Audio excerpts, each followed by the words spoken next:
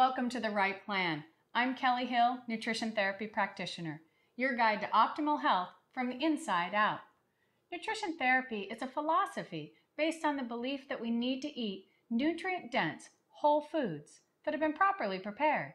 This is real food, as close to its original form as possible, prepared in a way to preserve or even enhance the nutritional value.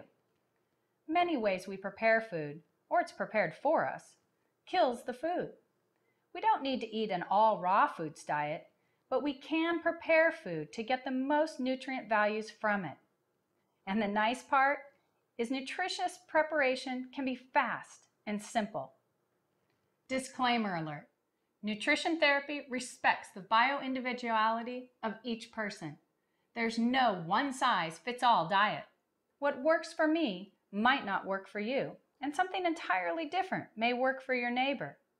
So, in these segments, take the pieces that feel right for your individual goals and plan.